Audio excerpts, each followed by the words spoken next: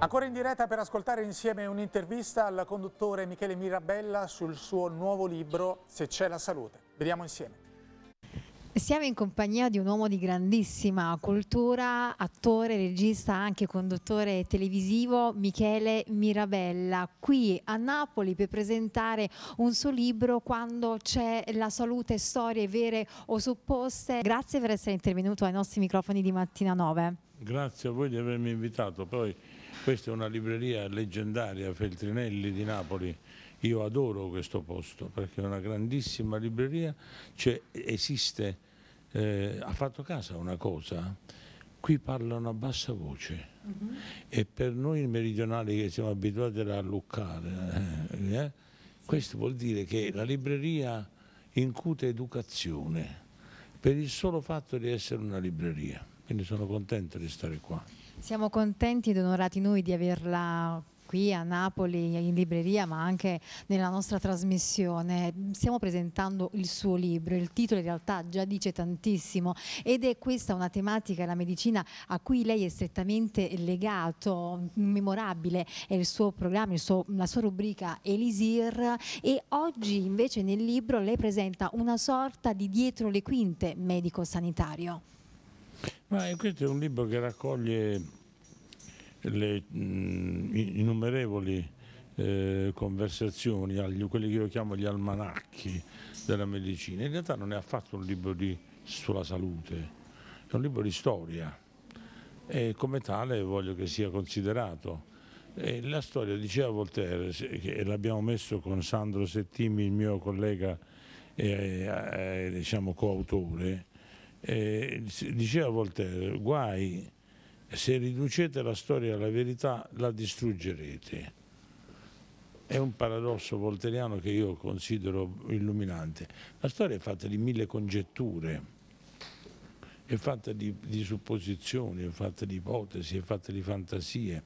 Anche quelli hanno contribuito a creare eh, la, vicenda, la narrazione della vicenda degli uomini, della straordinaria vicenda di questa creatura. Quindi io ho, diciamo, per riassumere, ho raccolto in questo libro le congetture sulla storia della medicina eh, che sono innumerevoli, che io ho utilizzato per aggiungere un di più di considerazione da parte dei nostri ascoltatori perché sconfiggessero e sconfiggano la ipocondria.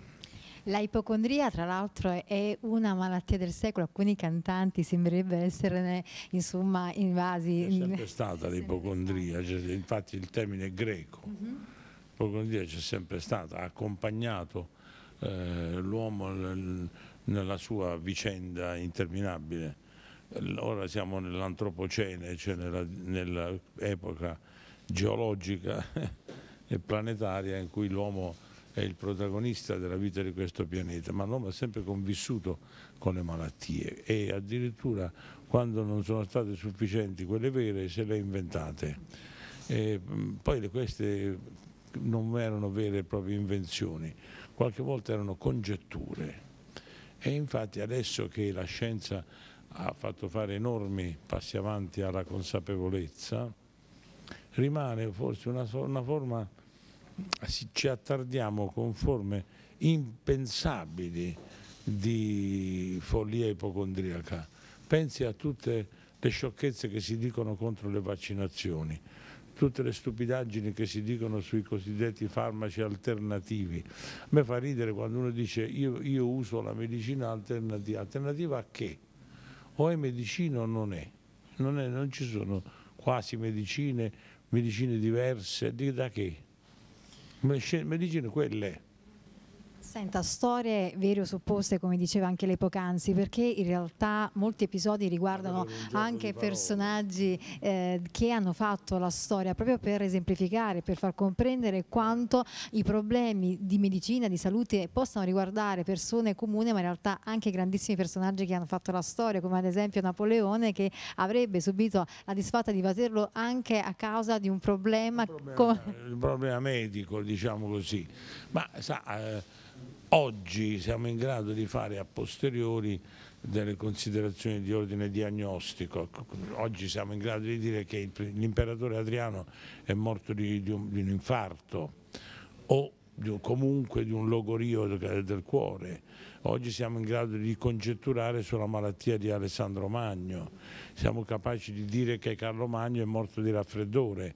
In realtà non è morto di raffreddore, però uno che rimane eh, contuso dopo una caduta in una caccia al cervo, tra, abbandonato perché non se ne accorse nessuno da, dai suoi cortigiani e passa sei, quasi sei giorni e sette notti o cinque o sei, la storia su questo non è precisa, seminudo sotto un, albero all'umido, alla fine piglia una bronchite. Il clima e anche l'evidente presenza di batteri in quell'ambito ne hanno favorito la dipartita Insomma, eh, la storia della medicina è affascinantissima. Di tutte le storie umane, se ci pensa, è quella che ha lasciato una traccia indelebile. I, i medici di oggi fanno bene quando lo fanno a studiare da Ippocrate in poi. Il giuramento di Ippocrate. Il giuramento di Ippocrate è una forma di filosofia della conoscenza. Diciamo che è le, la, eh, la radice delle, delle, degli studi epistemologici, cioè della filosofia della scienza. È lui che si pone per primo il problema in maniera ufficiale e curiale della, del valore della medicina, si pone il problema anche del, della deontologia medico-professionale, no? Quando raccomanda ai medici le regole elementari del comportamento, è un libro interessante, un'opera fondamentale. Senta, lo sta accennando anche lei, la deontologia in medicina. Quando si parla di medicina in realtà il linguaggio è molto complicato perché da un lato c'è sicuramente la scienza, ma dall'altro lato c'è un pubblico ampio a cui far capire certi concetti molte volte difficili. Possiamo dire che per questo, da questo punto di vista lei ha un grandissimo punto di forza, però come si fa a spiegare uh, in maniera semplice uh, dei temi scientifici molte volte già consolidati da anni ma che sono stati poi messi in discussione anche da una cattiva informazione. Lei fa delle domande lunghissime, io alla fine avrei la tentazione di dire sono d'accordo con lei. Eh, una piccola uh, congettura di, di, di, di professione. Se non ci fosse l'inglese, mhm. avremmo tutti un linguaggio universale della medicina perché parleremo greco e latino, ma da quando è arrivato l'inglese dicono una serie di stupidaggini in inglese, contaminando il greco che non conoscono più, il latino che non parlano più, con un inglese che non parlano ancora. Ecco che quindi il povero paziente si spazientisce e non capisce niente. Poi gli acronimi sono tremendi perché gli acronimi sono quasi sempre dell'inglese e non dell'italiano, del francese o del greco-latino. Dunque ci vorrebbe una disciplina che dovrebbero imparare all'università per evitare di camuffare qualche volta dietro uh, definizioni linguistiche complesse una sostanziale ignoranza. non dei medici per carità, ma generale. Allora tu ti accogli improvvisamente che si parla un, in, un, inglese approssimativo. Nessuno legge Shakespeare, ma tutti pensano di sapere questo inglese alimentare, eh, rozzo e francamente brutto. Mentre gli inglesi stessi, gli americani soprattutto, sono curiosissimi delle dizioni greco-latine della vecchia storia della medicina. Questo è il punto, dovremmo con un grande gesto di umiltà anche eh, eh, riverire, perché se tu dici cardioaspirina, tu già usi un termine greco. Molte parole della linguistica eh, italiana. Nessuno sa che l'aspirina era conosciuta non in quanto aspirina, ma in quanto acido salicilico, anzi in quanto salicilato, dai greci che pigliavano le foglie di, di salice e le maceravano nell'aceto e, e lenivano le ferite. Lo sanno quelli che, che dicono no. Quindi io credo che una buona storia della medicina sarebbe da riportare nelle facoltà. Quando ho, fatto, ho ricevuto le mie lauree ad onore in farmacia da una volta e in medicina dall'altra, nella produzione accademica che sono stato tenuto a fare, io ho raccomandato questo, di studiarla la storia della medicina, come esame dell'università fondamentale, non eh, un, un complementare per arrotondare la media. Senta, da parte sua tanto sapere, eh, però in televisione, una televisione che nel corso degli anni però è cambiata. Sì, è cambiata la televisione, c'è qualcosa che le piace, che non le piace, lei fare tantissime ah, altre domande. So, le ascolterei volentieri e possiamo stare anche tutto un weekend a parlarne. Eh, Come è cambiata la televisione? Sì, se c'è qualcosa che le piace oppure no, e poi dopo concludiamo con un Ma non, io non sono un grande spettatore, non lo sono mai stato sono un assiduo spettatore di, del... Io non guardo la, la televisione, io guardo i programmi. Io uso il televisore come usavo i giradischi. Uno non è che ascolti i giradischi, uno ascolta i dischi. Uno non è che io guardo la televisione. Io spesso guardo la televisione spenta come una scultura moderna, ma quando l'accendo scelgo i programmi.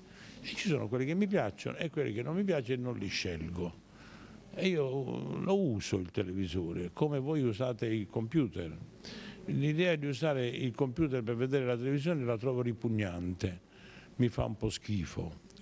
Infatti io, io, uso il telefono per telefonare, il, la radio per ascoltare la, la, radio, la televisione per vedere i programmi, ogni cosa deve avere una sua dislocazione, ma io sono antico, non ci faccia caso. Senta però una lunghissima carriera fra teatro, cinema, tv e anche università, perché lei è anche insegnante, tantissime prospettive, se c'è qualche, eh, qualche esperienza che ricorda di più con affetto e poi ecco, non sono domande lunghe ma che in realtà voglio in qualche modo modo riunire tanti, tante risposte da lei. Lei qui a Napoli ha un ricordo immemorabile anche con Massimo Troisi, perché nella pellicola Ricomincio da tre, classe 1981, sicuramente ci sarà un ricordo che la Lega ancora al nostro territorio al grandissimo Troisi.